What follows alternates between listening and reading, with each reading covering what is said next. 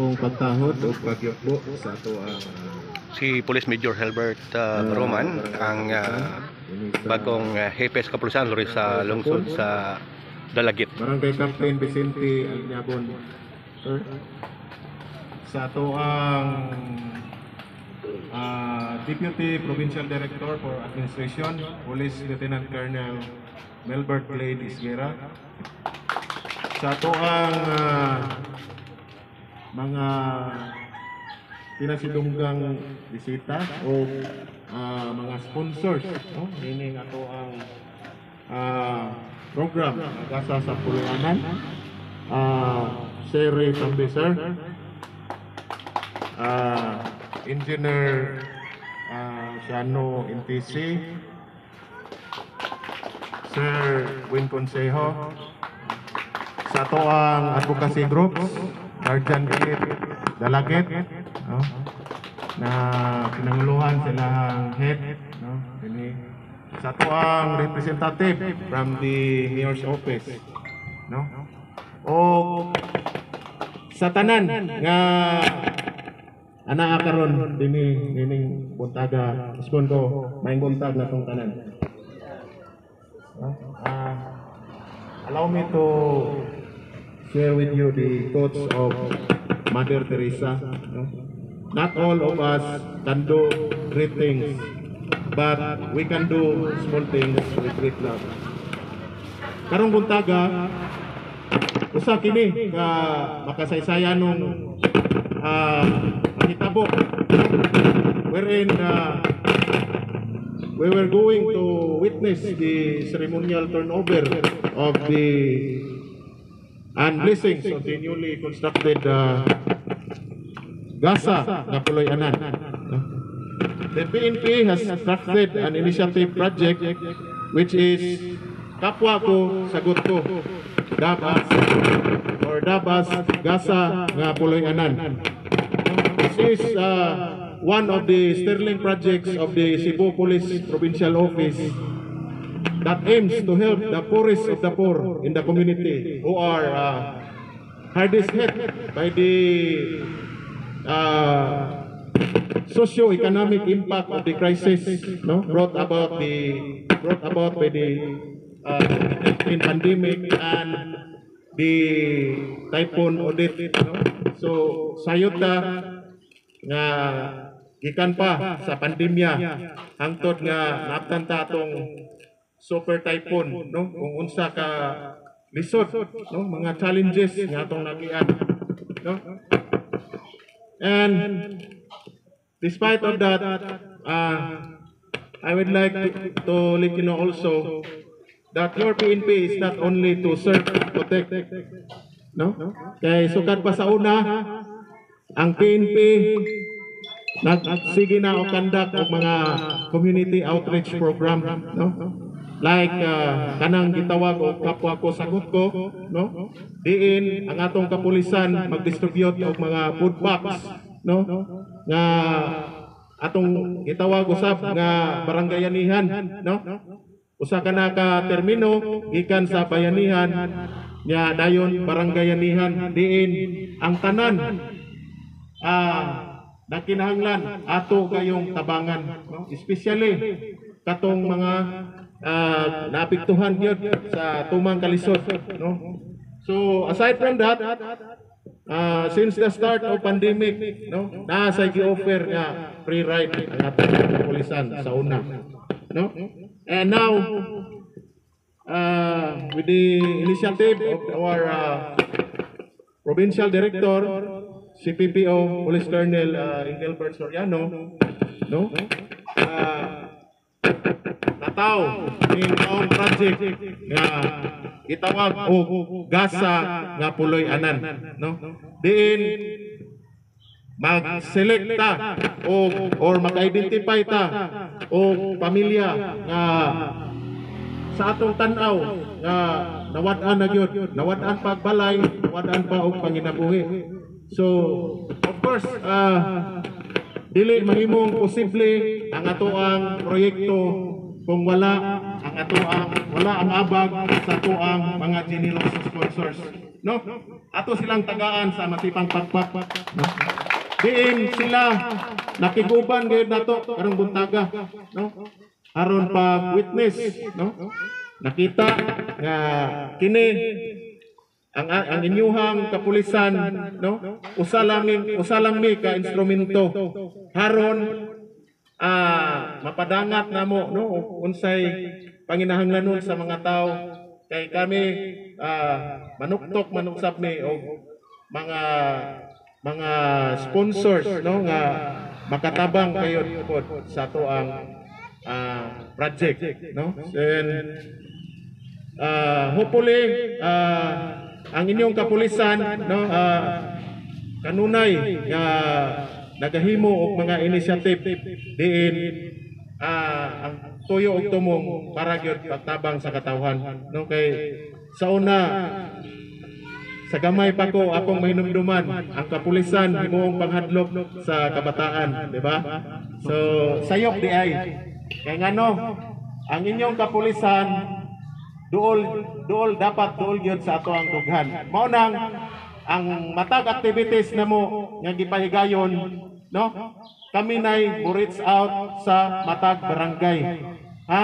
Ngano man haron or to bring closer the community the services to the community. Kami nay moduol kaninyo haron paghatag sa mga serbisyo dili na kinahanglan nga kami pa inyong atuon di ba?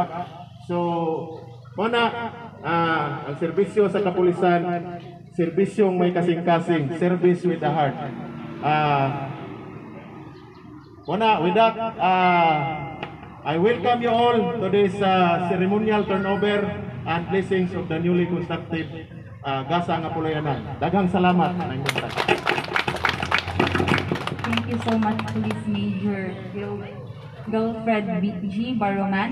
At this moment, let us witness the cutting of ribbon to be done by Police Lieutenant Colonel Melbert Glade Isguera, Police Major Gilfred G. Baroman, Barangay Captain Vicente Alinyabon, and Mr. Ray Tambis.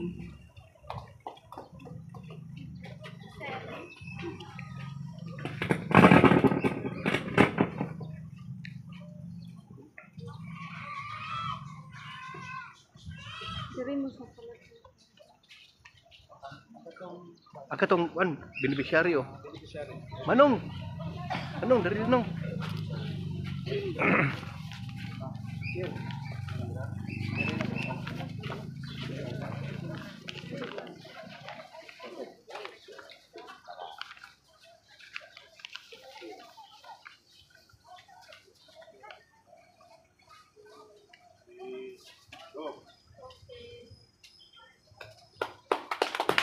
Congratulations. This project will be an open Ang, uh, everyone beneficiary, mo si Mr. Santos Tanoy, ang diri sa kariang uh, nga dili tapon dalagit. ang atong Ginoo na Uh, was out ay hang uh, panagat, tambot ma o yang bay. uh, ma-lift up na po. taon makabarog nun, eh, sakit sa tiil niya. this Pito ko ilang anak. the moment we have all been waiting, the giving of the symbolic cake which be done by our delegated police mga personnel. project uh, sa Cebu City uh, kung sa may uh, Cebu Provincial Police Office CPPO Cebu Provincial Police Office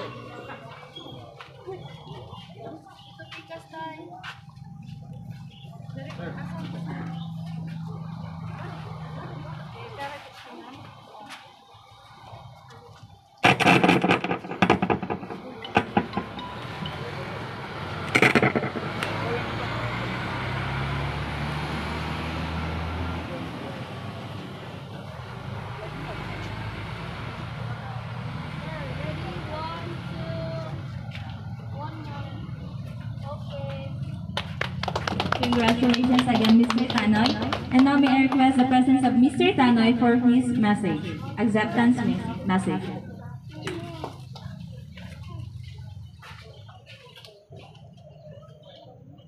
Ah, may buntag kanilang tanan. Ako ang akong kasulti, pasalamat ko sa atong kapulisan nga mo na pasiugda gyud anay o sa suportar sa mga sponsors sila ni Sir Ray, Ambis, ni Nungboy, uh, Inconsiho, o sa ang kapulisan may nagpasiog daw sa nagtrabaho nga ah, guardian. Guardian dako kay ko pasalamat po ninyo sa tanang sponsors sa nagpasiog daw nga kapulisan nga gitagaan ko nila ah, puluyanan paglaom salamat kayo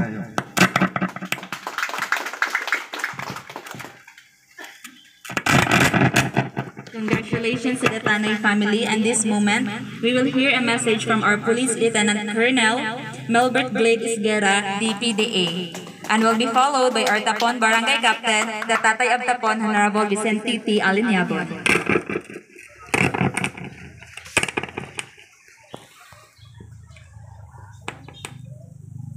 mayong mayong buntag sa ato ang tanan. Ah Dili na ako isa-isahon na kay isa-isa naman gina sa COP. So first is uh, na-mention naman sa ato ang Chief of Police unsay rationally unsay konsepto nganong naami ani ani pro- programaha. Ah, ako lang i-summarize. Kani is ah, tungod sa tungod sa amuang provincial director si Police Colonel Engelbert Soriano ah, nahimo ni siya ah, programaha.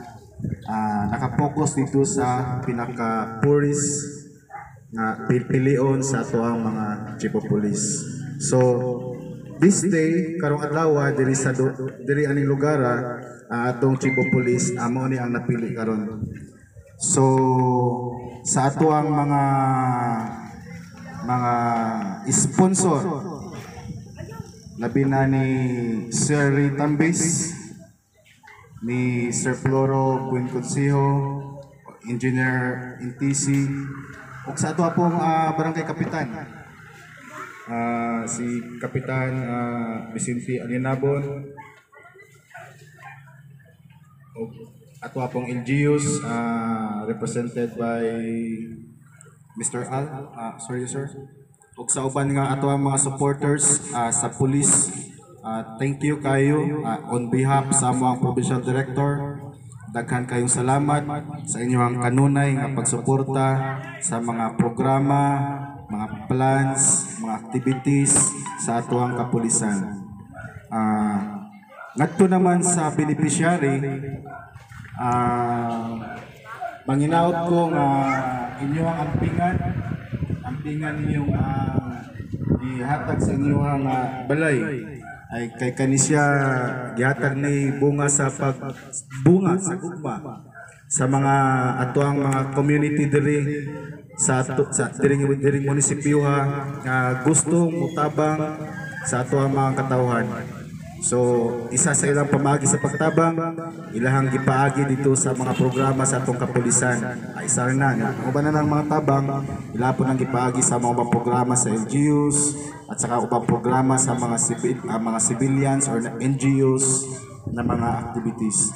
So, kani uh, hinaot, inyohaning gamon, kaning balaya, ah o manginaot ko nga ang blessings na inyo ang nadawat karon. Uh, kung naman po'y blessings nga maabot sa inyo ha i-share po ninyo ang inyong blessings sa tagsa-tagsa ka mga tao. So dili na ako dugayon. Ako mensahe uh, kaninyo tanan on behalf sa mga provincial director. Thank you Thank you and thank you very much. Uh, labi na sa tong Chief of Police, Abo. Thank you for organizing this, for selecting this recipient, kaning ato ang uh, beneficiary. O thank you po uh, for maintaining the the good image. Uh, as a result of that, uh, you have many uh, supporters diri aning munisipyo. Uh, as a proof of that, nandito yung ating mga stakeholders who are always ready, ready to support our PNP, local PNP, whatever plans, programs you have, uh, you will undertake for the uh, service of the community uh, in relation to or to serve and protect a mandate sa atong kapulisan. So once again, uh, ako si Lieutenant Colonel Esguera, Deputy Provincial Director for Administrations. On behalf again sa among Provincial Director, Police Colonel Engelbert Soriano, thank you and maayong buntag sa atong tanan.